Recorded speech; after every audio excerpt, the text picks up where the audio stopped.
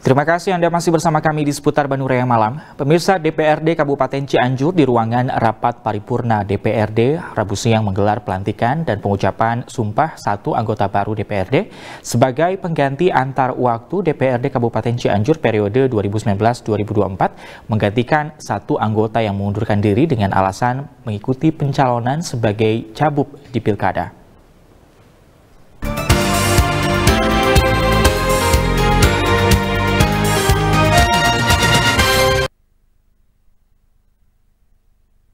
Bertindak sebagai pimpinan sidang, Ketua DPRD Ganjar Ramadan dengan dihadiri beberapa anggota DPRD lainnya di ruangan rapat paripurna DPRD serta PLT Bupati Cianjur Herman Suherman yang hadir secara virtual dengan video conference bersama pejabat lainnya di Pendopo Cianjur dalam rapat paripurna istimewa, DPRD Cianjur resmi melantik dan pengucapan sumpah janji terhadap pengangkatan satu anggota DPRD Cianjur dari Partai Kebangkitan Bangsa sebagai penggantian antar waktu DPRD Kabupaten Cianjur masa jabatan 2019-2024.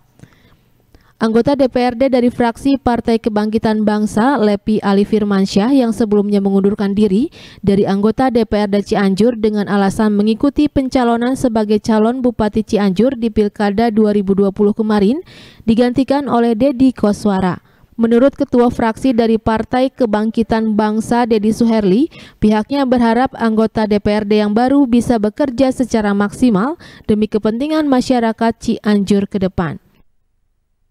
Eh, sementara ini beliau hanya ditugaskan oleh fraksi di komisi ya, menggantikan Pak Lepi yaitu di komisi 4. Nah, sementara di AKD yang lain belum karena uh, beliau baru masuk, jadi AKD yang lain sementara diisi oleh uh, anggota yang sudah senior lah di fraksi PKB gitu. Ini tidak kehadi uh, tidak ada kehadiran Pak, Pak Lepi gimana nih Pak? Uh, Pak Lepi memang tidak hadir karena beliau berhalangan dan tadi memang sudah meminta izin untuk tidak hadir dan ini tidak masalah karena memang tidak diatur di data tertib.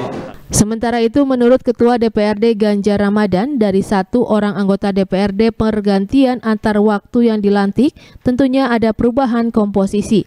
Pihaknya berharap dengan dilantiknya satu anggota DPRD sebagai pergantian antar waktu tersebut bisa menjadi anggota DPRD yang mumpuni serta melaksanakan amanat Undang-Undang Dasar Republik Indonesia.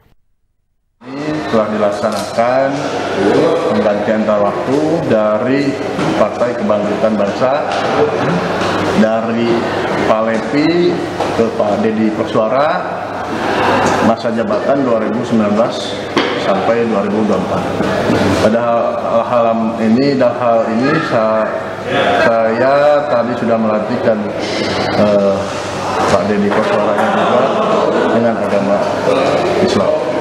Terus uh, dari komposisi ada yang berubah? Dari komposisi AKD mungkin ada perubahan di Banggar dan di Banlai.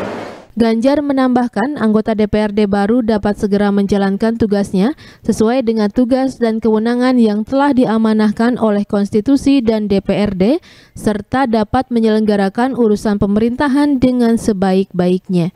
Heri Setiawan, Bandung TV